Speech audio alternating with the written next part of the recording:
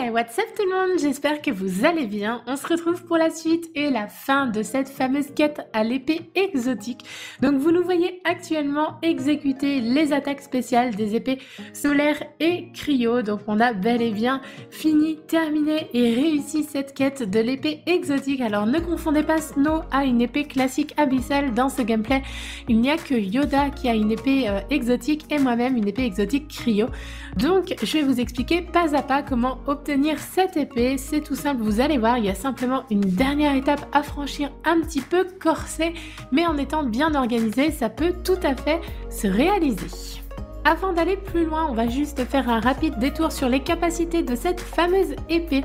Donc comme vous pourrez le constater, elle a trois capacités spéciales très intéressantes. La première étant de pouvoir augmenter votre gain d'armure. La deuxième, vous pourrez augmenter votre nombre de munitions. Et la troisième, vous allez pouvoir générer des orbes de lumière lorsque vous tuerez des mobs avec cette épée.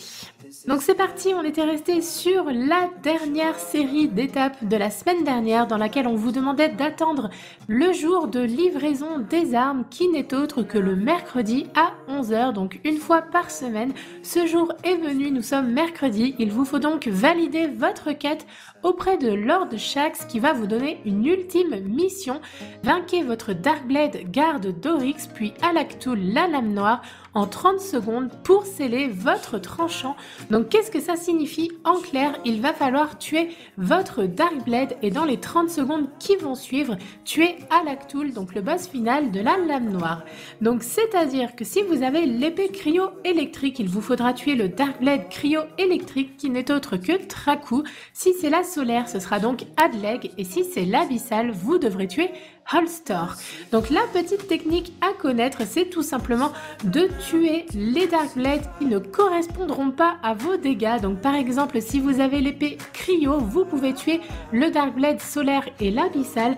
Vous gardez bien votre Dark Blade de côté et vous commencez à attaquer le plus possible à la tool, donc le boss final, jusqu'à lui laisser uniquement quelques millimètres de vie. Une fois ceci fait, vous attaquez votre Dark Blade et lorsque celui-ci est prêt à mourir, vous attaquez les deux derniers boss en même temps, ce qui fait que vous aurez vos deux kills dans les 30 secondes imparties. Vous aurez donc réalisé votre quête exotique.